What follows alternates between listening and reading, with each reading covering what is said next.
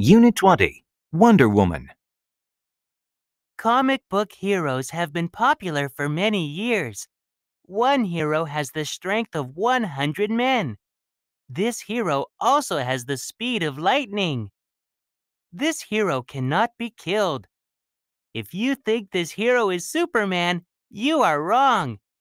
This hero is Wonder Woman. A man called William Marston created Wonder Woman in 1941. He was a graduate of Harvard University. He used a false name on his comics. He did not want his colleagues to know that he wrote comics.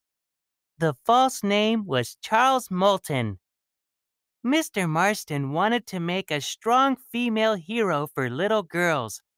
Of course, he hoped that little boys would like Wonder Woman too.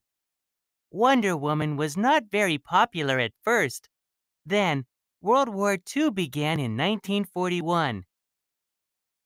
Wonder Woman became a role model for children around the world. She was both strong and beautiful. She always tried to do what was right. Today, she is still one of the most popular heroes of all time.